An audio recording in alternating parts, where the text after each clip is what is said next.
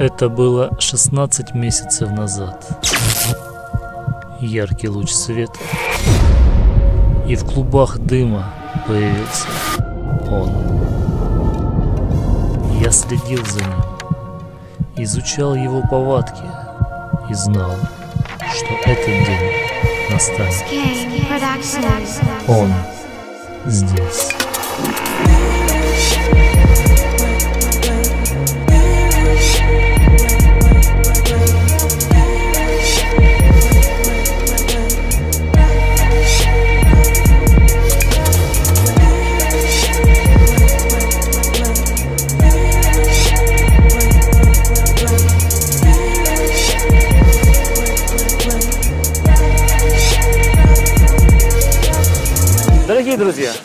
Уже поняли, что за машинка у нас сегодня на обзоре.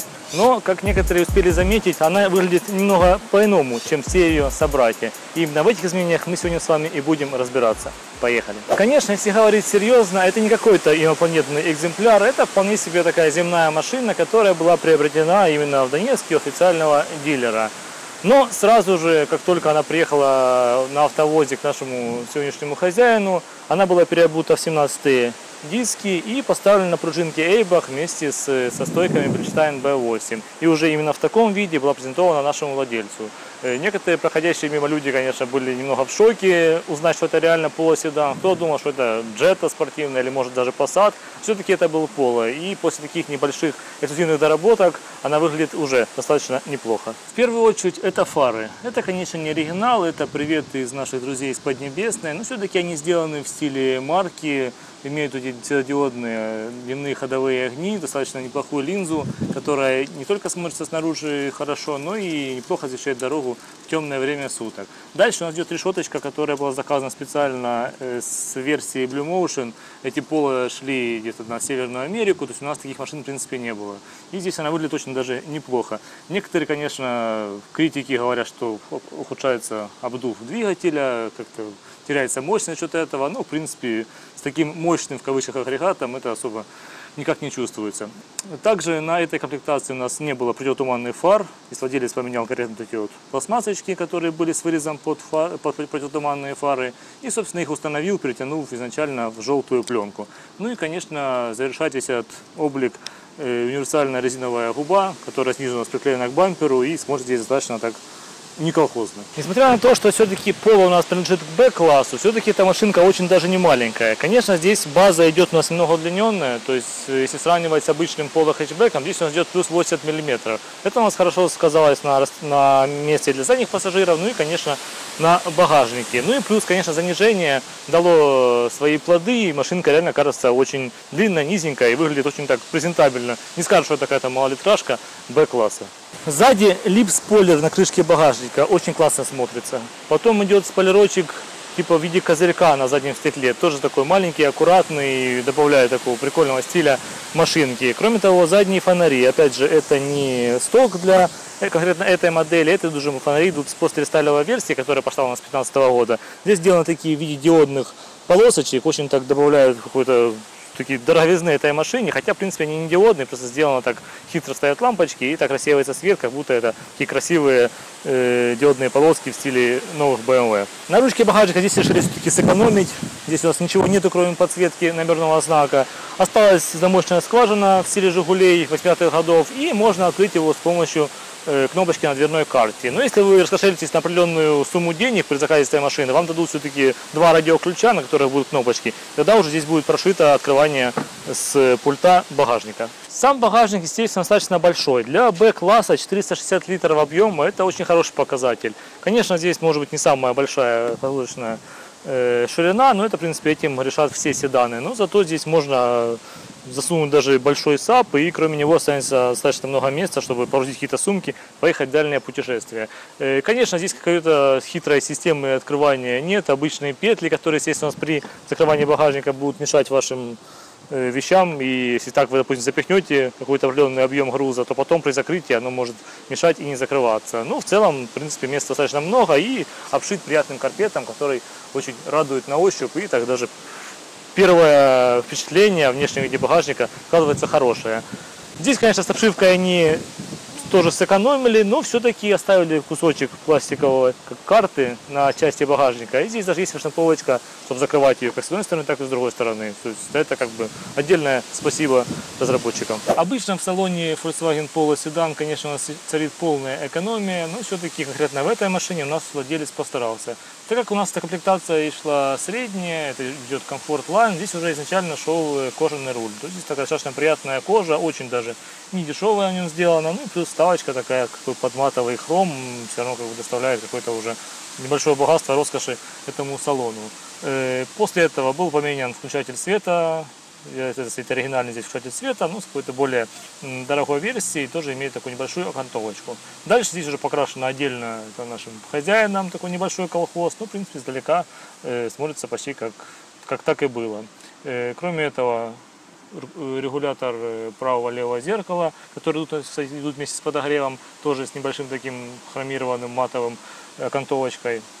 И что самое интересное, казалось бы, такой машине эконом-класса стоит лобовое стекло с подогревом и форсунки. Возможно, какой-то там зимний пакет, но на такой машине увидеть такую приятную опцию, это большой очень плюс. Отдельная радость здесь это, конечно, приборная доска. На стандартную, на Volkswagen Polo седан, там где-то такая простые шкалы приборов с какой-то графикой калькулятора. Здесь все-таки у нас владелец раскошелился и поставил э, от версии Airline с синими стрелочками и с таким достаточно неплохим дисплеем. Во-первых, он большого размера и имеет э, какую-никакую, но уже достаточно хорошую графику. И, конечно, глаза постоянно радуют, радуют эта сине-белая подсветка и все равно как-то в машине находиться уже более комфортно, как-то она уже стоит намного больше, э, чем ту цену, которую за нее просят. Также кроме руля у нас идет в коже э, ручка КПП, ручной, э, рычаг ручного тормоза идет все это вместе как малый кожаный пакет. И подлокотничек, который здесь установлен уже отдельно владельцем. Он, конечно, не оригинальный, но в принципе так вписался достаточно неплохо в интерьер. И с такой же строчечкой и примерно таким же материалом, как и все остальное оборудования. Климат-контроль здесь не климат-контроль, это обычный механический кондиционер со всеми простыми самыми регулировками. Единственное, поменены ручки с обычных, э, которые похожи на газовую плиту Электа, еще СССРских разработок, на какие-то более модные с плиты Индезит. По роде подготовки стандартная 4 динамика по машине в каждой двери и проводка под магнитолу. Здесь особых нет таких дизайнерских изысков, без проблем небольшая такая рамочка и ставится магнитола или на 1 DIN размера, или двухдиновая. Э, здесь у нас владелец поставил Alpine 117 и немного заморочился со звуком. Э, поменял акустику двухкомпонентную, причем стоечки были поставлены именно с пола хэтчбека, который имеет сетку под э, пищалки.